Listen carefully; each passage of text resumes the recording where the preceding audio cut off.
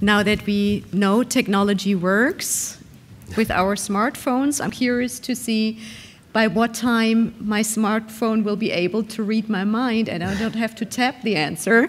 but that's for the future. And let's stay with the future. Another buzzword that we currently hear a lot is big data, predictive analytics. And this is probably something that our next speaker will cover for us. It is Michel Leonard He's the C Chief Executive Officer of Makro LLC, and he'll cover for us what can data science tell us about macro trends in the EU, in the EU for 2017. Michel. Thank you. Good. Thank you so much. I'll wait for them to bring uh, the presentation. Uh, I had the pleasure to speak about, I guess, at the beginning of this conference, uh, about eight years ago or something like that. So it's a pleasure to be here again, but it's also a pleasure to meet my friends at Coface uh, and the organizers. And uh, they're all such a great group of people. Uh, and again, thank you for the invitation. Um, I have to say, being the head of my own company, I can say, yes, they are my own views and they are the views of my company. Never been able to say that.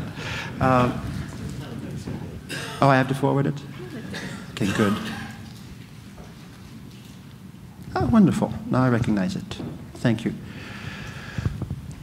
I knew this was going to happen. I don't have my glasses.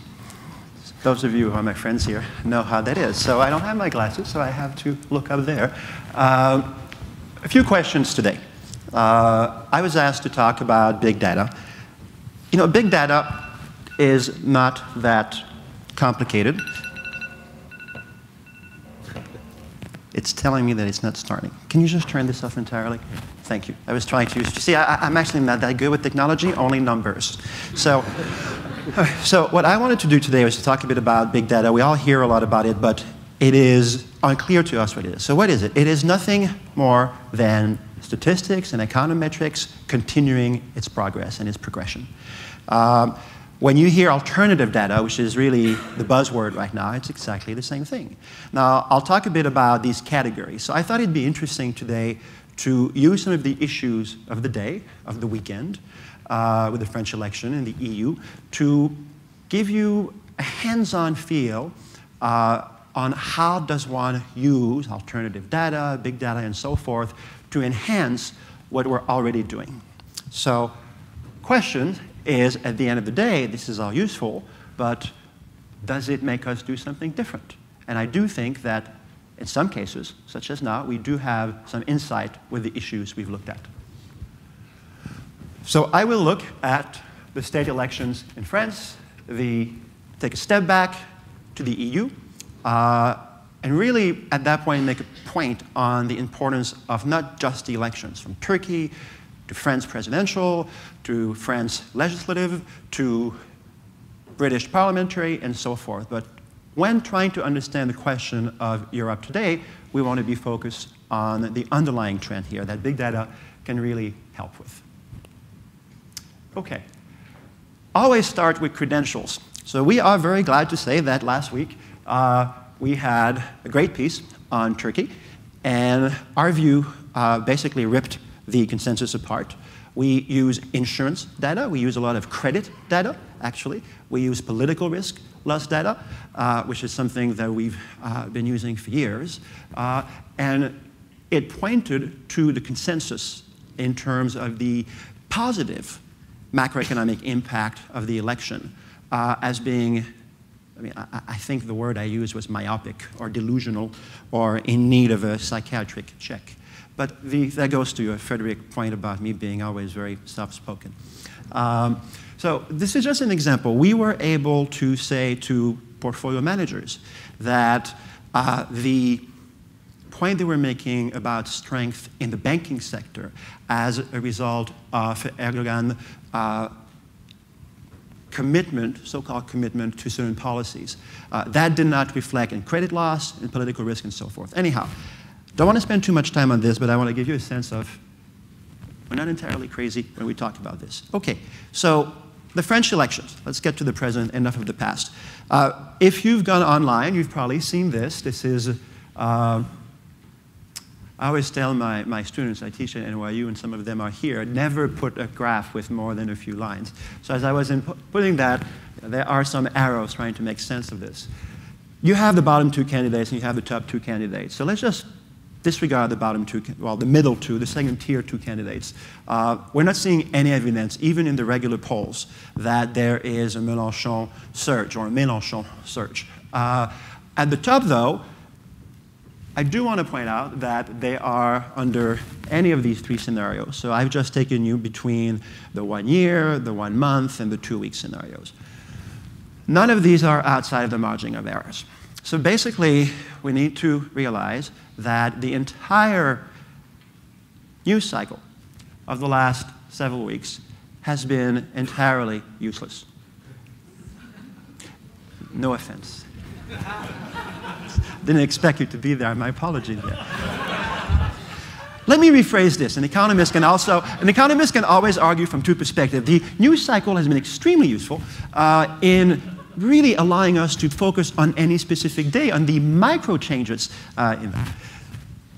The issue is that it's within the margin of errors. And polls are indicative, but we must understand what the margin of error is. And it's exactly the same thing that we saw in the US. And I'll talk a bit about that later. Even though it's not Europe, we'll find it somewhat uh, useful as a comparison. So our view is that you should not really, so there's two points here. Our first view is that when it comes to the election itself, we'll tell you where we think it's heading. We have a dominant scenario an upset scenario. But also for us, not only is it an issue of the news cycle, but it's also an issue we must look when looking at a year or multi-year trend on issues such as membership in the EU, at issues such as the rise of extreme parties and so forth in larger uh, trends, and look at a few years and many years and so forth. We must look at the underlying reasons from a polling standpoint, from a demographic standpoint, that drive people's priorities and votes. Uh, we must open up those elements. Uh, and when you are within a margin of error, that is even more important because you really can't say anything about that. But the underlying currents, those may not necessarily be in the margin of error. So you can do that through a traditional poll, or you can start looking at alternative data. And here is an actual list of actual data, first, second, third generation. Uh, I don't know how many of you know this, but the, the specifics, but they keep getting uh, more detailed. Uh, the first generation was the news, was the web. Uh, the second one, well, within that, then Facebook, then Google, et cetera. Uh, terms like being able to download the whole data, the Twitter host, et cetera, et cetera. Then we got into the second uh, generation, which had to do with satellites. Everything was about satellites. Everything was about movements. Uh, everything was about weather and terrain and so forth. Uh, very interesting, we were just talking a bit earlier about that, about the importance of terrain uh, and weather in country risk models and even in credit and economic models. Um, then the third generation, which is really happening recently, uh, has been about uh, microsatellites. Uh, I don't know how many of you are, live in New York or are on the co-op in a co-op or are on the co-op board, which is one of the worst things. For those of you who don't know, it means that you basically have to sit with a bunch of boring people and debate issues of finance. Uh, so a micro drone would allow you to go and spy on people. So I have my annual meeting tonight. I'm going to talk about that. Not too many co-op owners, because normally that one gets a lot of laugh. Uh, so the, the, the issue is you can take this through. And here you have the columns and the key issues. For example, a gender gap, uh, education gap, uh, wealth gap, age gap, etc. And what I wanted you to see with this was kind of demystify it. Uh, you can see how each one can speak to the different elements, and there's a logic to that if you actually go into what Facebook is and so forth. Uh, so the far column, I'm looking at Le Pen, and I'm looking at some work we've done this week on integrating a bit of a stress test in old terms, uh, the performance of Le Pen uh, in in these. So here's your example of how we apply this. I'll go very rapidly through this, but this is just to show you uh, uh, margins of error. The interesting thing, I actually know this presentation by heart, even though it's new, so thankfully, otherwise I need my glasses. Uh, so the interesting thing is that in the US, the average poll size is about 500. Uh, with that, you have a margin of error of almost like five, plus or minus five. Uh, when you go into the UK on Brexit, uh, the poll size goes to about 2,000, 1,900. Um, And when you get to France, they get to about 2,500. And that's based on the review I did a few days ago of, you know, about like 500 polls and, and so forth.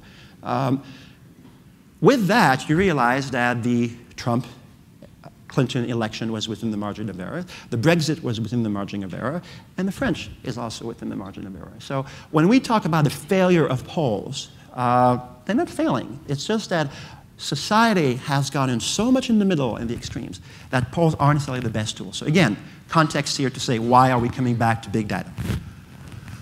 So um, this is uh, applied to France, and where are the gaps? Uh, and then the average gap in the US between different constituencies was 25, and in France, it's either 7 or 2.8. It's 2.8 if you include uh, the voting patterns of the 10% of French Muslims, uh, or if you don't. Okay, so with all of that, you get to this little table here where you basically stress test, you adjust. Uh, it's, you know, this is a simplified version, but the polls. And you end up with uh, a few scenarios that are in color. Two out of three of them, uh, Macron wins the first round. And in one case, which we value at one out of three, uh, you have Le Pen winning at 35%. Uh, so those are the added benefit that we get. Um, in this case, really, what it gives us, I think, confirms a lot of what we expected. But it also shows that one out of three of 35% is, is a very strong possibility.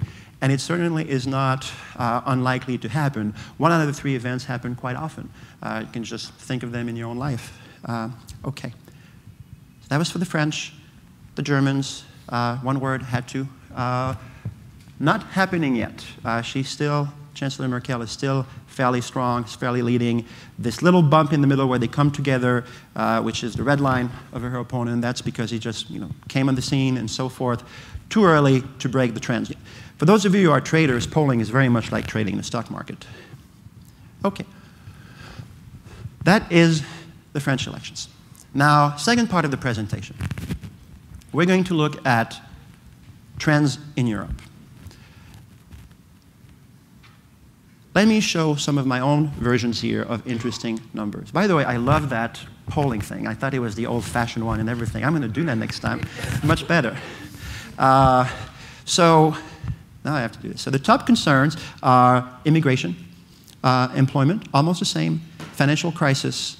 Uh, so pretty, you know, immigration is up there compared to some of the, the latest reports. But let me come up with some interesting uh, underlying currents which really drive the questions we have. What about trade? What about Brexit? What about uh, the rise of the far right or even the far left right now in France?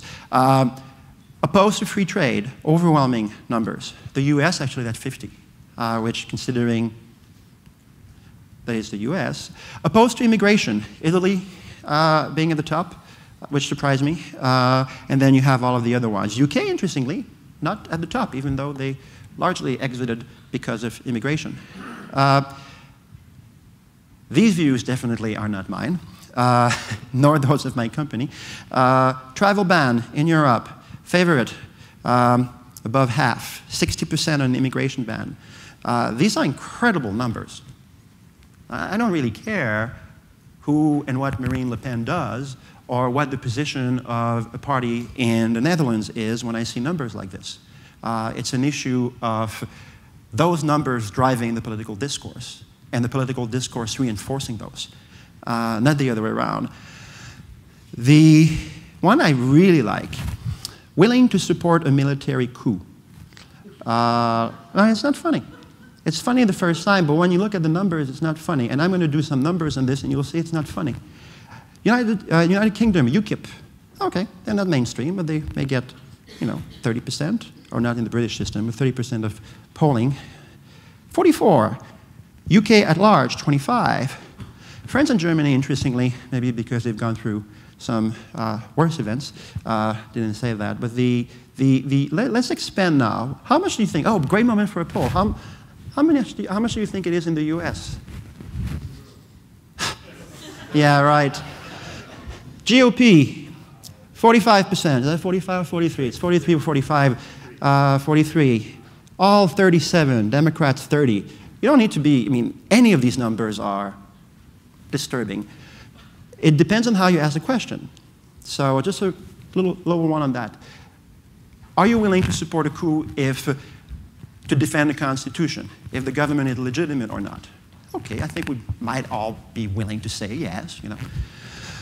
Um, and then you follow up, how many of you think the government is not legitimate? 60% of, uh, uh, of uh, GOP registered voters the, until the last election, 60%. Not making a political statement, just reading the numbers. These are the trends that drive what we're seeing in the political arena. We need to focus on understanding those more than necessarily uh, looking at candidates when these candidates are in the margin of error, especially. This is simply adjusting those. If you adjust them for uh, alternative data, you get to, to these numbers. You can see that in some cases you get above half opposition to immigration and so forth and so forth. Um, I'm going to keep with this little one about, uh, about military rule. You, get, you can get above 50% in the US and even higher depending on how you do it. So, now let's look at this one. EU survival. Uh, when you adjust the numbers, you go from uh, the public answer, which is, of course, we support the EU, to alternative data number one, alternative data number two, and it drops, it drops, it drops. I'll tell you the difference because it's a meaningful one 47%. You're below. Euro survival, you're still below, uh, but interestingly enough, you arrive with a Euro survival ahead of the EU which is a scenario none of us are thinking about. But when you start thinking about it, you can, you can justify it. Again, economists, we can justify almost anything, almost. Uh, but it's an interesting element. Suddenly the scenario comes to the fore, and we can start planning about it, something we probably wouldn't be planning uh, otherwise. Okay. Do the same thing to, how much time do I have? Oh, fantastic. I've been going through them much more rapidly than I expected then. Um, I'm going to slow down. So you can do the same thing with macroeconomics. Uh, in the context of macroeconomics, you look at, so we're switching gears here from polling again in the context of Europe to now macroeconomics in the context of Europe. The alternative data has been used for many, many years uh, way before it was called uh, alternative or big data in the world of economics. Uh, to a large extent, uh, the original ways of collecting information by the Fed were very much alternative data. Uh, I like to ask sometimes uh, the audience and some of my colleagues, how does the Fed still collect information when it comes to GDP and other key figures? Uh, you all, some of you may remember Greenspan. He loved to look at uh, factory orders. Uh, the way that is being done to this day is there is a certain number of firms that are quote, quote, constructed as a representative model of the economy, uh, and they report uh, both through numbers and spreadsheets and so forth, but also verbally, quantitative and qualitative, how that data goes in there. Uh, that is what we base the core of our uh, forecast. And then you have, of course, the Bureau of Labor Statistics and so forth that, that is able to go into much more details, but we know that's not at the same rhythm. Now, when I was speaking with some central bankers a few weeks ago with regards to Turkey uh, and bringing in credit insurance data, uh, bringing in political risk, uh, losses at banks, and so forth, uh, they thought that was alternative and unstructured. We're good friends, so they look and they smile and say, okay, great, Michel. You know, tell us about what the other central bankers and what the portfolio managers are thinking. Um, but then I say, okay, you can use a drone, and you've probably used this one, you heard about this one, and we'll have a drone and we'll simply look at everything that goes in and out of some key factories. You'll have it instantly. Uh, that's even more structured than the way you're doing it. Much easier also. Eh, still not structured. One of the things that we're seeing is there is an obstacle to change and to technology uh, adoption. And that goes without saying. The reality, though, is that once we come to understand that there's, this is a continuity of what we were doing, then it becomes much easier to integrate this within these elements. The tables I've shown you are an approach to artificial intelligence that's really called enhanced intelligence. And for those of you looking to adapt or to, to uh, adopt rather uh, alternative data, big data, and so forth, this element of transitioning is the most important. Uh, let me give you an example, which a colleague of mine used, which I thought was the best. Uh, so I'm giving him credit, my friend Manish. The, the, uh, I don't like driving. Okay? I like to be in the back seat with someone driving for me. So, yeah, I have to drive myself, obviously, but that's not what I like. So I would be the first person to love having an automated car. So not only am I into technology, but I'm also super eager to just let the machine do it. Then there's the Lexus model, and there's the Google model. The Lexus model, you sit in the car, and you can take control and everything. It's enhanced. It's going to help you. You can go to sleep for a little while. It's going to wake you up. You move a bit like that. It's going to beep and so forth. I'm okay with that. I want that. Um, the Google model, some of you may have seen it on YouTube. You get in the car, there's nothing else. You just look around, and you're like in a little, you know, fun little car, like a 1970s science-fi movie, sci-fi movie. I would never touch that car. And I totally believe technology, but you're never going to see me in there. Uh, that's exactly what all of us are confronted with when it comes to ad adopting artificial intelligence. We're being asked to make a jump that is way too significant uh, to do with comfort. We're being asked to move beyond the way we've been doing things for many years. So this approach that I'm trying to lay here, uh, that I'm trying to go into greater granularity, has to do with this enhanced approach to intelligence, to, to artificial intelligence. Okay. We are at Coface. Uh, very glad to be here, uh, as we said, and I would like to talk finally about what work we've been doing uh, for 20 years, uh, upon which all of this work on alternative data is based, which is our work with using insurance data from a variety of insurance lines to provide insight into macroeconomic trends. Not just country risk, but larger macroeconomic trends.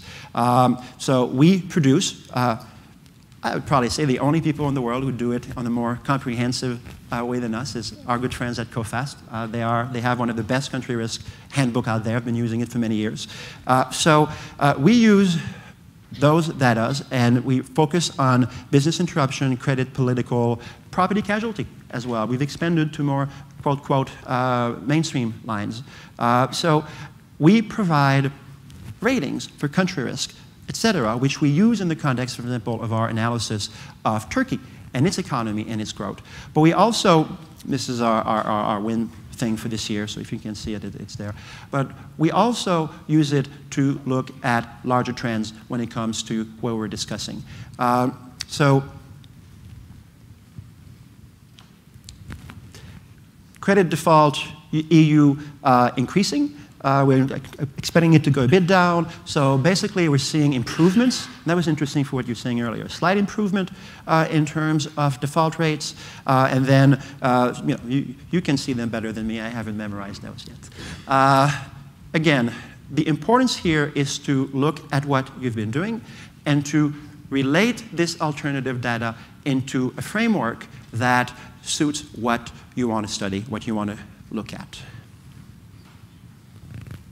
And then I think I have uh, my little quote for the end. Uh, I always say that when looking at data, at AI, or any of this, at trying to enhance, uh, it's something you need to know, something you don't know, and something you can do about. So I hope today that I demonstrated that there is an added advantage to uh, using alternative data.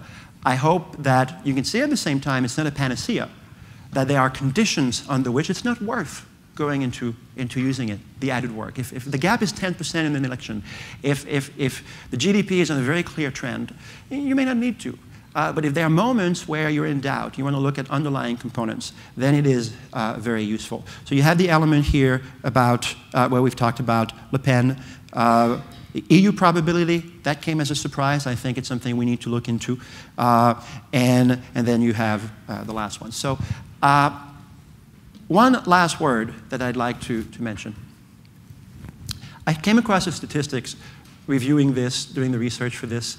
Uh, in the first 25 years after the Reformation, from the moment Luther you know, put his thing on the door, uh, on the church door, uh, his declaration, 25 years, uh, 27 years, literacy grew from 20% to 60% on average in Western Europe because of, of the printing press, the books, and so forth, and uh, suddenly books were everywhere, et cetera, et cetera.